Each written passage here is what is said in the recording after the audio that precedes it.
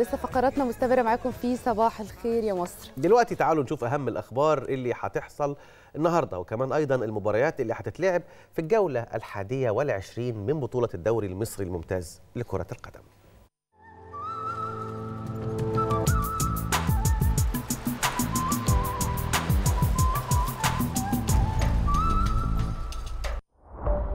بالنسبة للأخبار اللي هتحصل النهاردة فهينظم معهد إعداد القادة بوزارة التعليم العالي والبحث العلمي الدورة التدريبية للمهارات القيادية بعنوان إعداد فريق تنظيم الفعاليات المختلفة وده خلال الفترة من 6 ل 9 مارس 2023 بمقر المعهد.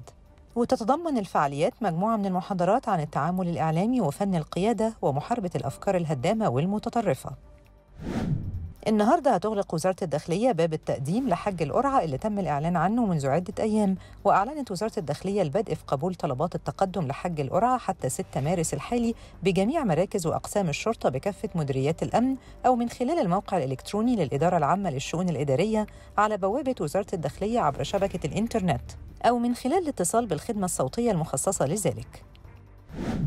النهارده هيعقد الاتحاد الرياضي المصري للمكفوفين مؤتمر صحفي للحديث عن تفاصيل بطولة الجائزة الكبرى للجودو للمكفوفين المؤهلة لدورة الألعاب البارالمبية باريس 2024 واللي هتقام خلال الفترة من 9 حتى 18 مارس بالصالة المغطاة بمدينة برج العرب بالإسكندرية.